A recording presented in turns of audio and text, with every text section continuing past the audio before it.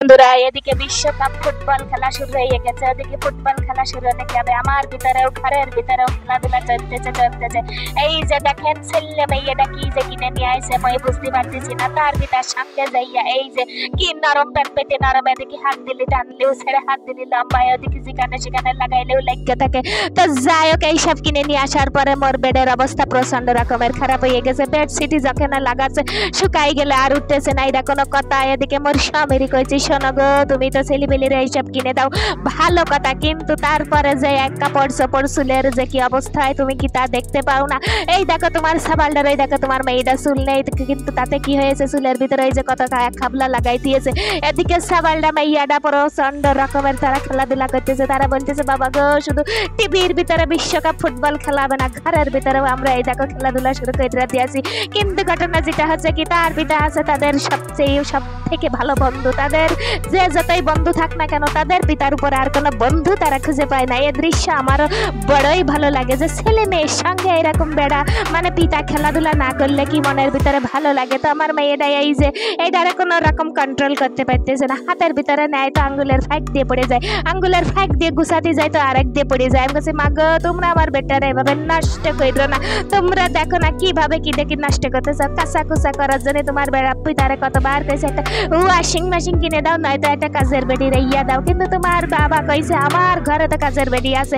এই যে সে কাজের বেডি আছে, তুমি কেন খামাকা অন্য একটা লোক ভাড়া করে নিয়ে আসব। দেখেন যে এটা কোনো কথা হি কেন? আমার কি কোনো কষ্ট হয় না? আমার কি হাত নাই, আমার কি পাও নাই? এসব দিয়ে তো কাজ কাম কইরা খাওয়া লাগে।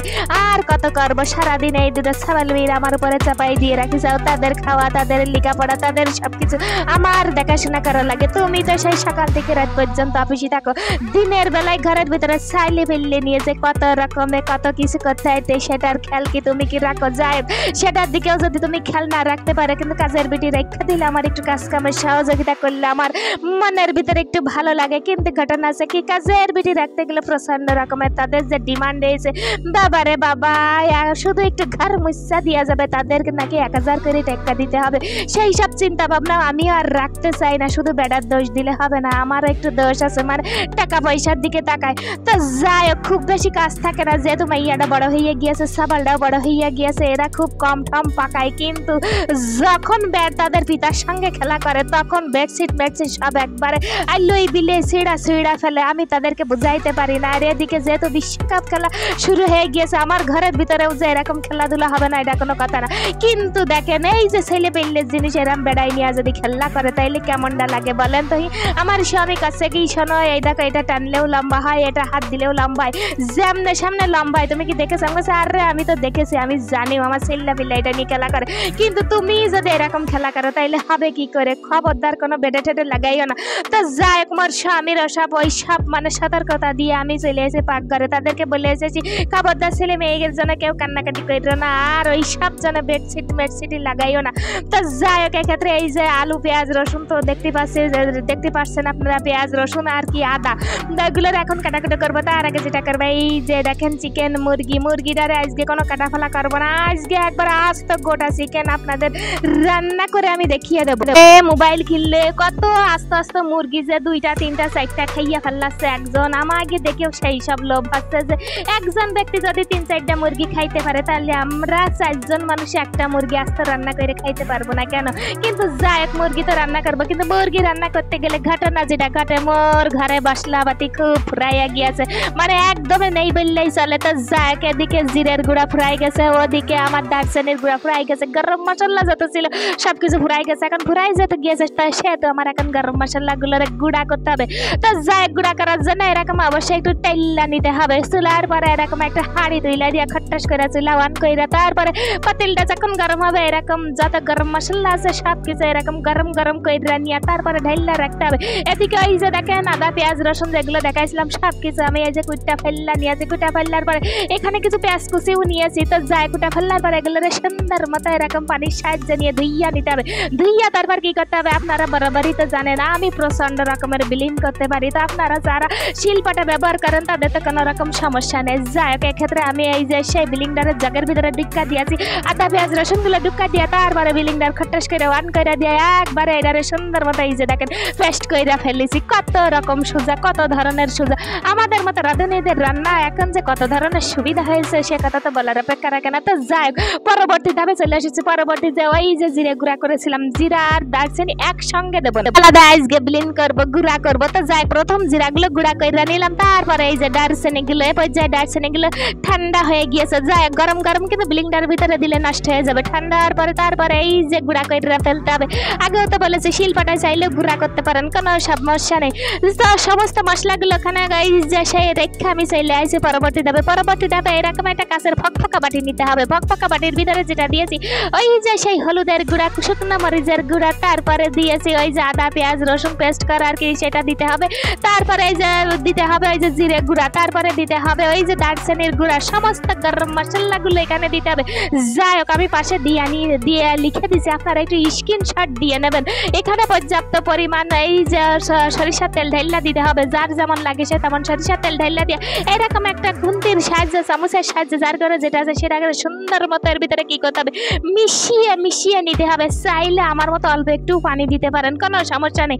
তো যাই হোক, মিশিয়ে টিশিয়ে ওটাকে রেখে চলে আসতে হবে। পরবর্তী এই যে সেই চিকেনের কাছে, চিকেনটা সুন্দর মতো ধুইয়া নিয়ে, চারিপাশ পয় পরিষ্কার করে নিয়ে, তারপরে এরকম চাকুর সাহায্য নিয়ে, এটাকে এরকম ফাড়া ফাড়া করতে হবে। এক ফাড়া, দুই ফাড়া, তিন ফাড়া, এরকম যে যত ফাড়া করতে পারেন, ফাড়াটা অবশ্যই গভীর ক্ষত করতে হবে। গভীর ক্ষত কইরা, তারপরে সুন্দর করে মুরগিটার উপরে যে লবণ মাখিয়ে নিতে হবে। দে ভাবা যায়, একে তো কাটা ঘায়ে নুনের সিটা যেটা বলে। কাটা ঘায়ে নুনের সিটা দিয়ে সুন্দর মতো পজিশন মতো নুনটা ভিতরে বাইরে যেখানে যেখানে সবখানে লাগিয়ে নিতে হবে। তারপরে যেটা করতে হবে। এই যে হাতের সাহায্য দিয়ে সবকিছু সুন্দর মতো, লবণটারে সুন্দর মতো পজিশন মতো আমাদের এই যে চিকেনটারে লাগিয়ে নিতে হবে। তারপরে যেটা করতে হবে, এই যে টক দই দিতে হবে। আপনাদের ঘরে যাদের টক দই আছে, টক দই ব্যবহার করবেন। যাদের ঘরে টক দই নেই, সেক্ষেত্রে কি ব্যবহার করবেন? সেক্ষেত্রে লেবু ব্যবহার করতে পারেন। লেবু মানে লেবু চেট যে রস হয়, সেটা ব্যবহার করতে পারেন। কোনো সমস্যা নেই। তো যাই হোক, আমার ঘরে যেহেতু টক দই আছে, সেই টক দইটাই ব্যবহার করলাম। আমার ঘরে সবসময় টক দই থাকে, এটা আর বলার অপেক্ষা রাখে না। তো যাই হোক এক্ষেত্রে যেটা করেছি, ওই যে সেই মশলাগুলো, সমস্ত মশলাগুলো, সরিষার তেল দিয়ে মাইখা রেখেছিলাম। সেই মাইখা রাখা মশলাগুলো, এই যে মুরগিটার ভিতরে, সমস্ত মুরগির ভিতরে সুন্দর করে এই যে মিশিয়ে নিতে হবে, যাতে কোনো জায়গা মুরগিটা খালি না থাকে। সেদিকে আমাদেরকে লোক থেকে সমস্ত জায়গা মশলাগুলো কষলিয়ে কষলিয়ে হাতের সাহায্যে মাইখা মাইখা নিতে হবে। অনেকেই যারা গ্লাভস পরেন, তাদের তো অনেক সুবিধা আছে, কিন্তু আমার ঘরে ওসব নাই। আর বেড়ারে আনতে কইলেও আনেও না। প্রচণ্ড রকমের হাড় কিপটা বেটা সেটা আপনারা জানেন যে এক মশলাপাতি সুন্দর মতো এটাকে রেখে দিতে হবে। এক ঘণ্টার জন্য আপনারা চাইলে তিন চার ঘন্টাও রেখা দিতে পারেন, কোনো সমস্যা নেই। তো যাই অবশ্যই একটু রেখা দিতে হবে। তো আমি চলে এসেছি এক ঘণ্টা পর। তো এক ঘণ্টা পর চলে আসার পর এখন যেটা করতে হবে, এই চিকেন মুরগিটারে আমার এখন ভাজি করতে হবে। তো ভাজি করার জন্য এরকম একটা খোল আলা কড়াইয়ের ভিতরে সরিষার তেল ঢেলা দিতে হবে। আপনারা চাইলে বাটার দিতে পারেন, কিন্তু মোর ঘরে কোনো বাটার নাই, তাই দিতে পারলাম না। আপনারা চাইলে আমার মতো সরিষার ভেজা নিতে পারেন, চাইলে সরিষার তেলের ভিতরে বাটার ভেজা নিতে পারেন। তো যাই হোক, এক্ষেত্রে সরিষার তেলের ভিতরে মুরগিটারে সুন্দর মতো ছাইড়া দিয়ে বসাইয়া দিতে হবে একদম পজিশন মতো করে বসাই দিয়ে তারপরে যেটা করতে হবে, এটাকে উল্টিয়ে পাল্টিয়ে সুন্দর করে লাল লাল করে নিতে হবে। এদিকে আমার মেয়েটা চলে আসে মেয়েটা চলে করছে মাগো গোসের ভাজি ভাজি গোসের গন্ধ পাচ্ছি কেন? আমি বলছি হ্যাঁ মাগো গোসের ভাজি ভাজি গন্ধ তো পাবা, কারণ আমি তো গোস ভাজি করছি। তো যাই হোক, মেয়েটার সাথে গল্প করতে করতে আমার ভাজ্জা হয়ে গেছে ভাজ্জা হয়ে যাওয়ার পরে আমাদের প্রধান কাজ হচ্ছে কি মুরগিটা এখন সুন্দর মতো আমাদেরকে কি করতে হবে ভাজ্জা নিতে হবে এপিট ওপিট সুন্দর মতো ভাজি কইরা নিয়ে তারপরে সুন্দর মতো এটাকে উঠায় রাখতে হবে। উঠায় রেখে চলে আসতে হবে পরবর্তী ধাপে পরবর্তী ধাপে যেটা করতে হবে একই তেলের ভিতরে আমি কিন্তু আর কোনো রকম এটা তেল ব্যবহার করিনি। আপনারা কিন্তু সাক্ষী তাই হোক, সেই তেলের ভিতরে ওই যে পেঁয়াজ কুচি করেছিলাম সেগুলো এরকম ছাইড়া দিয়ে এই যে হ্যান্ডেলের সাহায্যে ছোকা নাকা চাকা নাকা করে ব্রাউন ব্রাউন লাল লাল কালার করে ভাজ্জা নিতে হবে। নিয়ে তারপরে ওই যে বাকি যে মশলাগুলো ওই যে মাখিয়েছিলাম সব মশলা তো আর মুরগির ভিতরে ঢুকাই দেবো না, দিলে কিন্তু খাওয়া যাবে না। সেটা মশলা রান্না হবে, মুরগি রান্না হবে না, তো যায় কথা না বাড়িয়ে সেই মশলাগুলো তেলের ভিতরে ছাইড়া দিয়ে পরিমাণ মতো লবণ দিয়ে, টক দই দিয়া, সুন্দর মতো মশলাকে এটাকে কষিয়ে কষিয়ে নিতে হবে। কষিয়ে কষিয়ে নেওয়ার জন্য এখানে কি ব্যবহার করতে হবে? অল্প একটু পানি ব্যবহার করতে হবে, কষানোর জন্য অবশ্যই একটু পানি পানি ব্যবহার করতে হবে। তো যায় পানিটা যখন শুকিয়ে শুকিয়ে যাবে, তখন মশলা কষিয়ে কষিয়ে যাওয়ার পরে আবার ওতে অল্প পরিমাণ পানি ছাইড়া দিয়ে, এই যে এরকম চিকেন চিকেনটার ভিতরে মানে একবার বসিয়ে দিতে হবে কোন রকম যাতে নড়ন চড়ন না করে সেদিকে আমাদের মুরগিকে লক্ষ্য রাখতে হবে এদিকে আমাদের ঝোলটাকে সুন্দর মতো মুরগির এই গার উপরে লাগিয়ে লাগিয়ে দিতে হবে যেহেতু খুব বেশি ঝোলের ভিতরে ছাড়া যাবে না এজন্য এই মুরগির ঝোলটা গার উপরে লাগিয়ে লাগিয়ে দিয়ে তারপরে ঢাকনা দিয়ে ঢেকে রেখে দিতে হবে যতক্ষণ পর্যন্ত এ পিঠ ও পিঠ সিদ্ধ না হয় ততক্ষণ পর্যন্ত আমাদেরকে এটাকে রেখে দিতে হবে তো যাই হোক এক্ষেত্রে আমি এই যে উল্টাই পাল্টাই আমি মোটমাট কথা গোষ্ঠটারে সিদ্ধ করে নিয়েছি মানে চিকেনটারও সিদ্ধ করে নিয়ে যখন আমাদের দেখতে হবে তেলটা এরকম ভাসমান ভাসমান হয়ে যাবে, তখন মনে করতে হবে আমাদের চিকেন তৈয়ার হয়ে গিয়েছে। তো চিকেন যখন তৈয়ার হইয়া যাবে, তখন আগে এই মুরগিটারে খপ্পস করে এইরকম বাটির ভিতরে উঠাই রাখতে হবে। দেখেছেন কি সুন্দর ধোঁয়া উঠছে, ভাবা যায়। তো যাই হোক, উঠাই রাখার পরে যেটা করতে হবে, এই যে ঝোলটাকে ঢেল্লা দিতে হবে চিকেন কারি। এই যে আস্ত চিকেন আমি রান্না করে আপনাদের সামনে নিয়ে এসেছি। যাই হোক, আগে একদিন আমি চিকেন কি বানিয়েছিলাম, বারবিকিউ বানিয়েছিলাম। আজকে আমি একবার আস্ত মুরগি রান্না করে ছাইড়া দিলাম তো যাই হোক এখান থেকে প্রচণ্ড রকমের ধোঁয়া এই ধোঁয়া অবস্থায় যদি গরম গরম খাওয়া যায় তাইলে তার কথাই থাকে না কিন্তু এখন তো খাওয়ার টাইম না আরও একটা রেসিপি আমি আপনাদের সামনে দেখাবো সেটা আছে মাছ এই যে দেখেন আমি মাছ নিয়ে চলে এসেছি এখন যেটা করব শুধু তো গোস দিয়ে ভাত খাইলে আর পেট ভরবে না সাথে আরও একটু তরকার পাতি লাগবে মন- মানে মোর বেডার আছে এক ভাগে দিয়ে খাইয়া হয় না তার অন্তত পক্ষে দুই ভাগে তরকারি লাগে তো যাই হোক একটা ক্ষেত্রে মাছটারে সুন্দর মতো এই যে লবণ হলুদ শুকনো মরিচ দিয়ে এরকম নাইড়া সাইডা নাইড়া সাইডা মাখিয়ে মাখিয়ে তারপরে যে সরিষার তেলের ভিতরে এগুলোরে ভাজ্জা নিতে হবে। যাই হোক, আমার ভিডিও যারা দেখেন তারা মোটমাট কথা সবাই কম বেশি জান না, গেছেন যে আমি আছে সরিষার তেল, এই শীতকাল বল সরিষার তেল খাব, আপনারা চাইলেও সরিষার তেল খাইতে পারেন। যাদের গ্যাস হয়, গ্যাস গোস হয়, তাদের কিন্তু আরও গ্যাস গোস হবে, সমস্যা নাই। যাই হোক, গ্যাস গোস হইলে কোনো কথা নাই, গ্যাস হতেই পারে। তো এক্ষেত্রে কোনো ব্যাপার না। চাইলে অবশ্যই গ্যাসের ওষুধ খাইয়া নিতে হবে। তো হোক কথা ভাও কথা না বললে এখানে আসল কাজে চলে আসি। তো ওই যে সেই সরিষা তেলের ভিতরে মাছগুলো ভাজা হয়ে গেলে তুইলা ফেলতে হবে। তারপরে যেটা করতে হবে, পেঁয়াজ কুচি ছাইড়া দিতে হবে। পেঁয়াজ কুচি ছাইড়া দিয়ে তারপরে ওই সেই হলুদের গুঁড়া, শুকনো মরিচের গুঁড়া, গরম মশলার গুঁড়া, জিরে গুঁড়া ধনিয়া গুঁড়া, তারপরে সেই দারচিনির গুঁড়া সব কিছু পরিমাণ মতো লবণ দিয়ে মশলাটাকে আমাদেরকে কি করতে হবে? সুন্দর মতো কষিয়ে কষিয়ে নিয়ে যখন লাল লাল বর্ণ হয়ে যাবে, তখন আমাদেরকে পরিমাণ মতো পানি ঢেল্লা দিতে হবে। এ কথা তার বলার হবে না রাখে না কারণ মাছ ভুনা আমরা যে কি করে করতে, এটা আমরা সকলেই জানি। আমার কথা শুনে আপনারা বলবেন, এই মাছ ভুনা করতেছে, তা আবার বললা বললা দিচ্ছে আসলে না, বললেও তো হচ্ছে না, কারণ আমরা তো সবাই জানি কীভাবে রান্না করতে আমরা সবাই পারি। তো যাই হোক, এক্ষেত্রে এই মাছের ঝোলটা যখন কুম্মা কুম্মা আসবে, তখন আমাদেরকে বুঝতে হবে যে আমাদের মাছ ভুনা হয়ে গিয়েছে। যখন হয়ে যাবে, তখন এরকম নামাইরে ফেলতে হবে। তো দেখেন, আজকে আমি দুটো রেসিপি আপনাদের সামনে নিয়ে চলে এসেছি। প্রথমটা আছে সেই মুরগি রান্না করেছি। আস্ত মুরগি আমার বড় শখ ছিল, আমার ছেলে মেয়েদের। আস্ত মুরগি রান্না করে খাব, কারণ মোবাইল খুললে আস্ত মুরগি তিন চারটা করে খাচ্ছে মানুষ। আমরা কেন একটা চারজন মিলে খাইতে পারব না? তো যাই হোক, এই যে মাছ না তারপরে সেই মুরগি রান্না আমি আপনাদের সামনে নিয়ে চলে এসেছি। এখন নিয়ে চলে আসলে হবে না, এখন তো আমাদের খানা পিনার পর্ব তোমার স্বামী কাছে শোনা গো, তোমরা সব একা খাইয়া ফেললে না, আমার একটু সমস্যা আছে, আমি একটু পরে খাব। তো যাই হোক, সেক্ষেত্রে তার কথার তো আর আমার ছেলে মাইয়া রাখতে পারবে কি পারবে না সেটা পরের ব্যাপার। আমি বলেছি, তুমি এখন যদি এদেরকে সাথে খাইতে বসো, তাহলে কোনো সমস্যা হবে না। এদিকে তার পিতা বলতেছে, না, আমি একটু পরে বসবো। তার সন্তানকে সাহস দিচ্ছে যে, বাবা, তুমি খাও, আমি তোমার পিতা তোমার সামনে আসি তোমার পিছনে আসি ডানি আসি বাই আসি কোনো চিন্তা করো না, তুমি খাইতে পারো, কোনো সমস্যা নেই। এদিকে আমার সাবালটা কাছে মা গো, অসাধারণ হয়েছে অসাধারণ হয়েছে। এখন থেকে যদি তুমি মুরগি রান্না করো, এরকম আস্ত মুরগি রান্না করবা, কোনো কাইটটা ফাইলা টুকরো টুকরো করে রান্না করবা না। দেখেছেন? বাবা যাই কি সব কথাবার্তা করছে আরে বাবারে জিনিসপাতির যে দাম হয়েছে আস্ত মুরগি রান্না করলে তো শুধু তুমি খাইয়া পালবা বাবা। মানে রান ঠান তুমি খাইয়া পালবা শেষে বুকে রই গো। হ্যাঁ, মানে হাড় ছাড়া মাংসই শুধু আমাদের জন্য রেখা দিবা সেটা তো হতেই পারে না। তো জায়গা থেকে আমার স্বামী কাছে শোনো তুমি বেশি কথা বলল না সাবালডারে খাইতে দাও যাই হোক। মোর স্বামীর কথা রাখা করার জন্য আমি আর বেশি কথা বলতে পারলাম না মোর সাবালার দিকে এরকম তাকাইয়ে রয়েছে। এদিকে মোর মাইয়াটা কাছে দাদা গো সব কি তুমি একা খাবা? আমার একটু দেবা না এদিকে ঘটনা আছে কি? আমার মাইয়াটা প্রচণ্ড রকমের গোশ খেতে চাইলেও সে খেতে পারে না, কারণ তার দাঁতে সবসময় ব্যথা থাকে।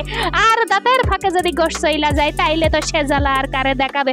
তো যাই হোক, তার কান্নাকাটি শূন্য তার দাদা, কিন্তু একবারে একটু মুচ্ছা ফুচ্ছা তার গালে একটু দিছিল, কিন্তু তার প্রচণ্ড রকমের ঝাল লেগেছে। ঝালের কারণে সে খেতে পারছে না। তা আমি বললাম মা গো তুমি এখানে বৈশা থাকো। তোমার একটু পরে আমি ধুইয়া দেবো। তোমার দাদা খাচ্ছে, আমরা সকলে মিলে খাওয়া দেখি। এদিকে তার পিতা এসে মাঝে মাঝে আবার আবার ফালুক ফুলুক করে তার সন্তানের দিকে তাকাই তাকাই দেখতেছে আসলে তার সন্তান কীভাবে কাটছে, কি না কাটছে। তো যাই, তার পিতা বলে কি, আমি খাই আর না খাই, আমার সন্তানের খাওয়া আমার প্রচণ্ড রকমের ভালো লাগে। এদিকে তার বোনের গালে দেখেন দিতে গেছিল, কিন্তু বলেছে, দাদা, প্রথমে যখন দিছিলে তখন আমার প্রচণ্ড রকমের জাল লেগেছে, আমি আর খেতে পারব না, তুমি খাও, আমি তোমার একমাত্র বোন, চাইয়া চাইয়া দেখি। আমি আমার সাবালটারে কইছি, আব্বা গো, তুমি কি শুধু গোশ দিয়ে খাবা? ওখানে তো মাছ আছে, তখন আমার সাবালটা আমার উত্তর দিল, শোনো মা গো, তুমি আর বাবা মাছ দিয়ে খাইয়া না, আমি এই মুরগিটা খাইয়া ফেলি, দেখেছেন? কি একটা কথাবার্তা। এদিকে তার পিতা ওই যে চেয়ারে এসে বৈশা বললাম বললাম, শোনো গো, তুমি কি খাবা? বললে, একটু পরে খাব। আমি আমার সন্তানের খাওয়া আগে দেখানি তারপর আমি একটু পরবর্তীতে খাব। আমি আচ্ছা ঠিক আছে, কোনো সমস্যা নেই। এদিকে আমার সবালটা কাছে বাবা, তুমি শরীরে বসো, তুমি এখানে বসলে আমি খাইতে পারতেছি না, কারণ আমার প্রচণ্ড রকমের ডিস্টার্ব হচ্ছে। তুমি ঘরে যাও। কিন্তু তার পিতা তার কথা শুনতেছে না। তার একমাত্র সন্তান খাচ্ছে আর দেখবে না। এইটা তো কোনো কথা হতে পারে না। তো যাই হোক, আর বেশি কথা বলব না, কারণ বেশি কথা বললে এদিকে খাওয়া ঠাওয়া আপনারা দেখতে দেখতে বলবেন আরে বাবারে কত কথা বলে রে, রকেটের মতো কথা বলে, এদিকে রেলগাড়ির মতো কথা বলে, এত কথা বলে, অত কথা বলে কেন? হোক, কথা তো বলতেই হবে, কথা না বললে মনের ভিতরে, মাথার ভিতরে ঘুর প্যাস খাই, এই জন্য কথা বলি।